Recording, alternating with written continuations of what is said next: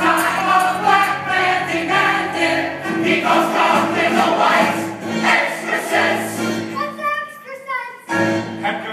What's your. Three firemen were killed. One of them was Mrs. Gallagher's nephew. Another six were badly injured when the boiler exploded. And one of them will be dead by.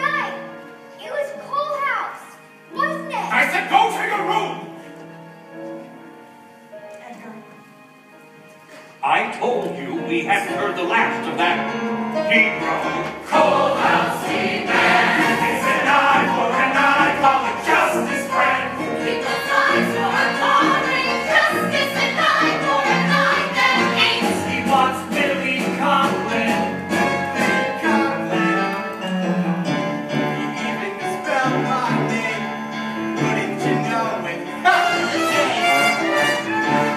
Can't take a joke now, can he? Sensitive, ain't he?